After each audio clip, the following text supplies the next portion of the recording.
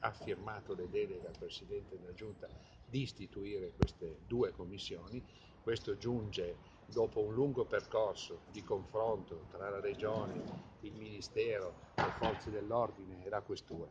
Noi a breve costituiremo queste due commissioni di inchiesta con delle personalità di, di alto livello e di imparzialità che cominceranno a lavorare più presto. A breve eh, intendo si parla di giorni o comunque settimane? No, no, di giorni sicuramente. Adesso con deleghe possiamo costituire, stiamo cercando e reperendo questi funzionari di alto livello proprio di imparzialità che possano iniziare a lavorare ma al più presto. Quindi anche da fuori regione arriveranno queste figure?